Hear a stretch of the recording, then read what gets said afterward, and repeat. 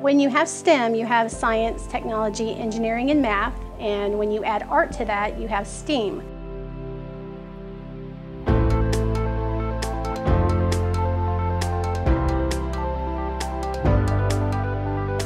I believe that when we show these kids that school is fun, this is why we do these things. We want them to be inspired. We want them to enjoy what they're doing. And when you have an after hours event, they get to come in and explore a little bit more. It's more of an adventure.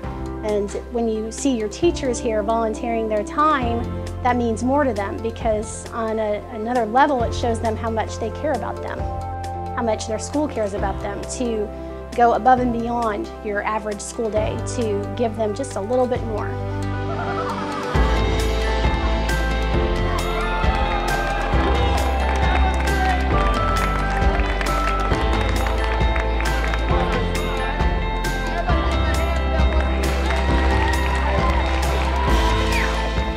One of the great things about tonight is that PTA kind of came up with this and planned this and they also provided a lot of the funding and the volunteers for this to be possible. The food trucks are that extra punch to make sure that everybody can have a little more fun, get something to eat.